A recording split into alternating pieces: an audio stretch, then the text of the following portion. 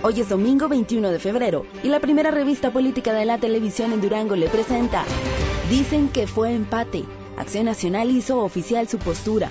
Al tratarse de un empate técnico entre Gonzalo y Dorador, el panista tendrá la mano sobre la candidatura a la alcaldía. Para el PT, esto es una burla. Los agraciados del Sol Azteca, Sergio Duarte y José Posada, fueron designados para ocupar posiciones plurinominales del PRD para las diputaciones locales. Esto les da la posibilidad de ganar un espacio en la próxima legislatura local. ¿Cómo se dio la negociación?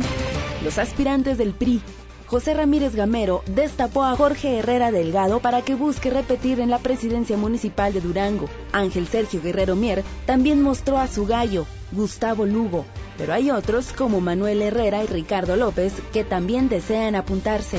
Inflación histórica. De acuerdo con los reportes, la inflación de enero pasado fue la más alta en los últimos 10 años, pero esto no es más que el efecto de la situación general de la economía del país.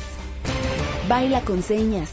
La danza es la ejecución de movimientos con el cuerpo al ritmo de la música, pero ¿cómo sería si no escuchamos nada? Ahí es donde entra otro tipo de lenguaje, el de señas. La Internet en México se ha convertido en un nuevo mundo virtual que nos permite acceso a la información, entretenimiento y a interactuar con otras personas alrededor del mundo, sin limitaciones y sin censura. Esto y mucho más. Quédese con nosotros. Buenos días.